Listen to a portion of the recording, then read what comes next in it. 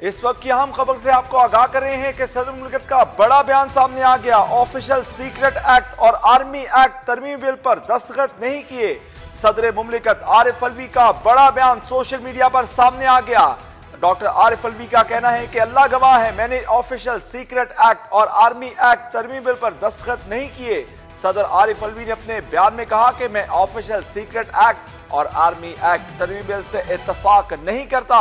मैंने अपने अमले को कहा कि बिल को बगैर दस्तखत किए वापस भेजें। सदर पाकिस्तान ने मजीद कहा कि मैंने अमले से काफ़ी बार तस्दीक की कि बिल्स बगैर दस्तखत के वापस भेज दिए गए हैं। मुझे आज मालूम हुआ कि मेरे अमले ने मेरी मर्ज़ी और हुक्म को मजरू किया।